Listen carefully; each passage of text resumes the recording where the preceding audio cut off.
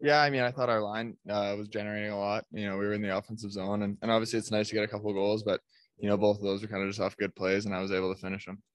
Yeah, I mean, it's always nice to get you know a goal or, or a point early, but uh, I think uh, you know I think our team you know really played well, and, and we were kind of just doing what, what we were told and, and how we, we wanted to play, so it was definitely good. Just what did you think of playing with with Joshua there, and and just the chemistry that you guys had as a line? Yeah, I thought our line played well, and uh, you know we were creating a lot, like I said, and, and I thought we were able to you know really get our cycle going, and, and obviously those are older, bigger guys, and I thought we were able to you know work them work them pretty good down low. So it was definitely uh it was definitely a lot of fun to play with those two guys.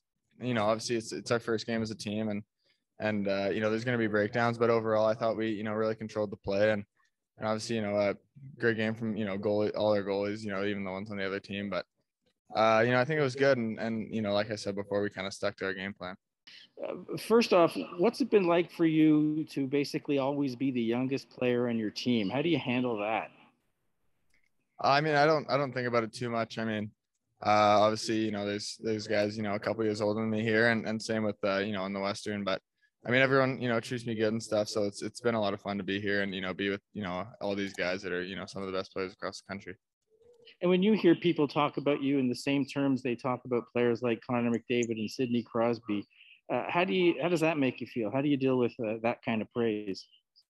Yeah, I mean it's pretty cool. Obviously, you know, I'm I'm young and and McDavid's like two points per game in the show, so uh, it's that's definitely high expectations. But uh, it's definitely you know pretty uh pretty humbling to, to hear my name you know in the same sen- sentence as those guys. So it's definitely pretty cool. You know, obviously I, I want to be you know a goal scorer and and to be able to be a you know uh, produce offensively. But you know, there's so many guys here that can do that, and you know, I like you said, I kind of got to find the thing that that would separate me to you know be able to make the team.